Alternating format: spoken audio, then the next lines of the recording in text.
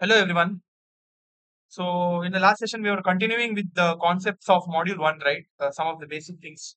So we'll continue with that.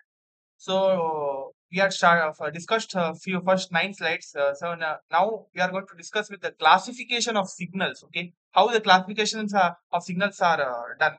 So classification of signal is done by these four types. Okay, uh, this is just a general four types. There are many many classifications.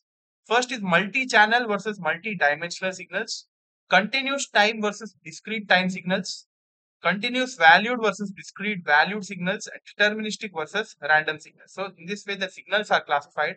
First, let us see multi-channel versus multi-dimensional signals. Multi-channel signals, signals which are generated by multiple scores or, or uh, sources or multiple sensors are called as multiple channel signals. These signals are represented by the vector form as you can see here s of t is equal to S1 of t, S2 of t, S3 of t, where these signals are performing the multiplication operation. Above signal represents the three channel signals where this S of t is uh, happening in these three different channels S1, S2 and S3. Okay. Now multi-dimensional signals. A signal is said to be multi-dimensional if it is a function of m independent variables. Okay. For example, a speech signal is one uh, dimensional signal because amplitude of this signal depends upon the sig uh, signal independent variable, namely Okay, so the, these are the basic multi-dimensional signals. Next, let us see continuous versus discrete time signal. This is very important. Uh, continuous signal is defined for every values of time. For every instance of time, it is defined uh, differently. Uh, take on values in the continuous interval a comma b, where a can be defined as minus infinity and b can be defined as infinity. Okay, uh, function of a continuous variable, for example, uh, a sine uh, sine wave. Okay, this is one basic sine wave, and it is a continuous time signal which would be constant for every interval of time and it varies along the when the time changes. Okay so this is one continuous time signal. Next is discrete time signal. Uh, it is defined only at discrete instance of time. It is not defined continuously at a particular time it performs a single operation.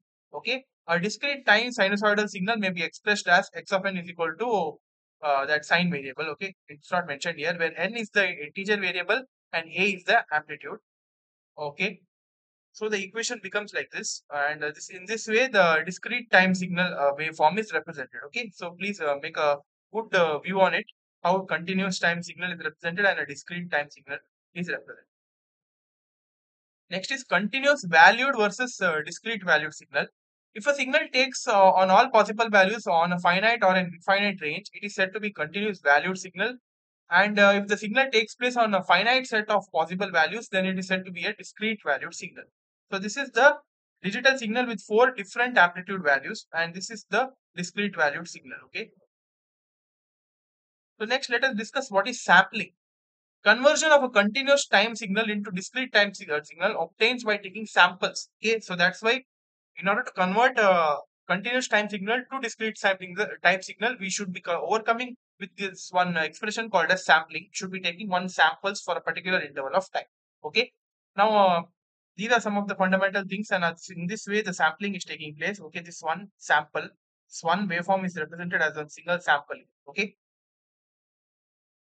Next is a digital signal. For digital signal we need to be going through the process called as quantization.